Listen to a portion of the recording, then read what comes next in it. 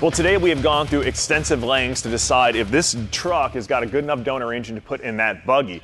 And we've gone through a bunch of tests. We've checked to see if the compression was there. It is. It leaked the engine down. We checked a bunch of the sensors. Right now, all signs are pointing to the O2 sensor. Matt sits inside the truck. His head glows up with that check engine light, and the guy's telling us that this engine is fat. I think it's starting to all come together. I think there were two other lights in there too. I think the change engine and check everything light came on. Right? Ch- change everything? exactly. So that's what we're doing here today.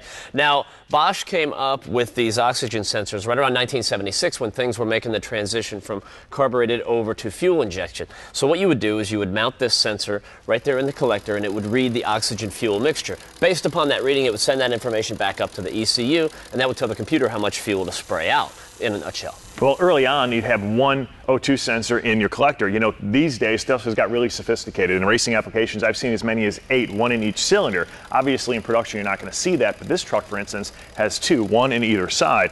But it's got a narrowband O2 sensor versus the newer style wideband O2 sensor, which is kind of taking things to the next level just in sensors. Well, it's interesting. On the narrowband, you get a reading, but basically that reading says, okay, it's off. You know, it's off this way or it's off that way, but there's Right. nothing precise about it. And that's where these comes in with the, with the wideband. It'll tell you, okay, it's, it's off by this, and that's exactly what it is. You know, there's also a heating element inside the wideband O2 sensor. You know, one of the problems with a truck or a car in startup and electronic fuel injection is everything is cold, and that's where you have a rough start, and things don't really start to dial in or tune in till they get to temperature. Well, the same thing can happen with the O2 sensor. Wait till it heats up before it starts giving its information. Otherwise, the engine is cold and it's compensating for other things other than the tune-up in terms of having a cold engine. So that's where this comes to play too. And like Matt said, in terms of being precise, an engine like this should run about 14.7 to 1.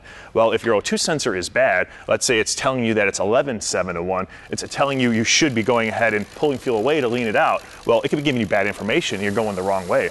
Also, if it's not reading at all, what happens is it goes in what they call open loop, which means it basically shuts down, doesn't give any readings but a fat tune-up that they put in to keep the engine from burning up. So what I think is going on here is this O2 sensor is not even reading, the engine's running fat, and we are getting a code, and none of that is good. It's like the informant on a crime show, right? If he's given bad information, the whole plot is all screwed up. Or So like the crooked politicians where you live. Exactly, exactly. All right, so we've pretty much nailed it down to that, and we're pretty confident that when we swap these out, that the engine's going to be fine. So whenever you're going with new O2 sensors, be sure to check out Bosch, and you can get them at Federated Auto Parts.